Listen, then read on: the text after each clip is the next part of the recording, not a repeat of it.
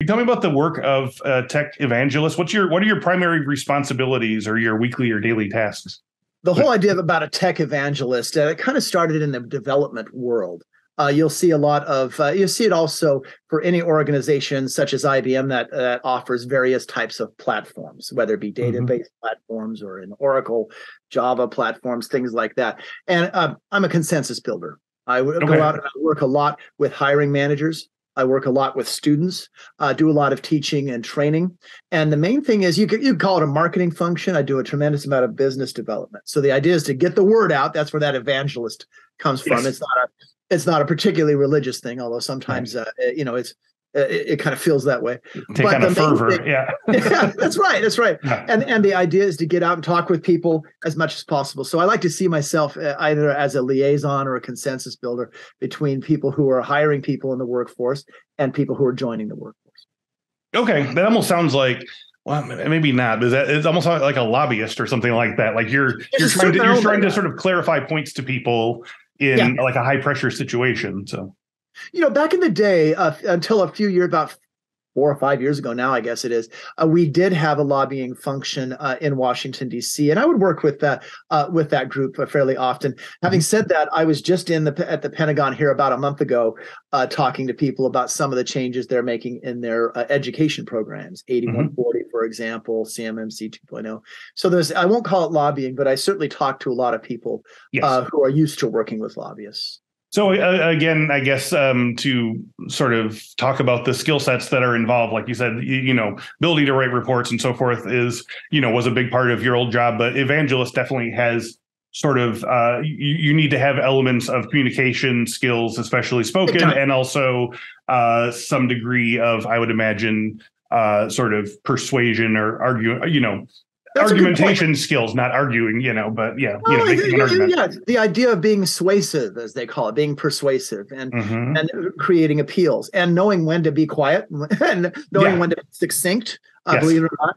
Um, uh, sometimes I fail at that. I think the other day I handed over a report that was, you know, more of a stream of consciousness than it mm. was mm. an actual decent yep. report. You know, it's like, and it was a very subtle hint. It's like, gee, a couple of bullet points would have been nice. You know, it's like, yeah, so yeah. I know what you mean. It's it's something that, um, as far as uh, skill sets and things like that. First of all, you got to be pretty technical in in what your knowledge is. Uh, right. Technology evangelist is in there, and it's not just technical. Say about security or about data uh, and things like that. That's fine. Um, but technical in the understanding of having a, a, strong enough foundation so that you can pivot to steal a word from you and from mm-hmm. the pen mm-hmm. testing industry um, uh, to pivot from one element to another and to explain things uh, that aren't clear, that yeah. do have a kind of a, a muddled, uh, if not muddled, murky kind of past, and kind of clarify things in in in a in a in such a way that the audience cares and understands. Okay, so now to contextualize that in the other direction, because you know now I, it sounded at first like okay, as long as you're you know a good speaker, good communicator, yeah. like someone will give you the talking points, and then you sort of like bring them to the masses. But it also sounds like you need to actually know all this stuff, which means you should have like you said, you were a pen tester before. You have like the hard tech background. This is not just like you're you're not just like uh you know a convention speaker. Like you are someone who That's is a really good point. Yeah. So uh, can you talk about like how much of your position is client facing versus how much is like research and sort of keeping up with trends and sort of staying on I, top of the tech? It's a good question. I do work for the research department at CompTIA. Work with uh, work for a gentleman named Tim Herbert, who is our uh, senior uh, executive VP over uh, over research. Uh, fantastic, uh, incredible research department. It's really neat to watch them.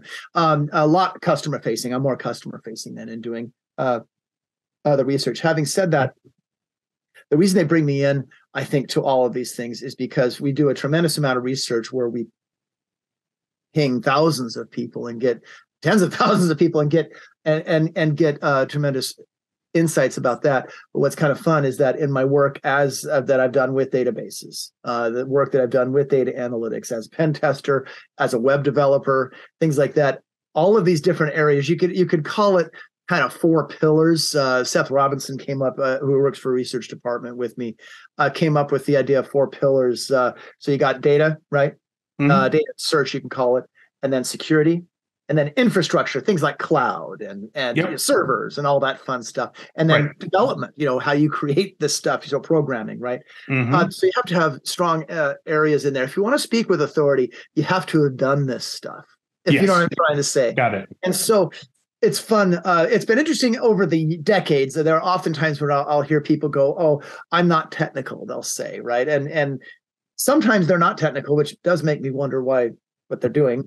Yeah. But other times when they say they're not technical, they're being they're being humble. Uh-huh. They- Right, There right. are a lot more people, a lot more technical than they let on or even realize.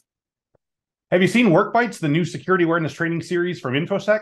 Our team produced this series with three E's in mind, making security awareness training entertaining, engaging, and educational. Just go to infosecinstitute.com slash free to learn more about this hilarious office comedy. And hey, let us know what you think about it.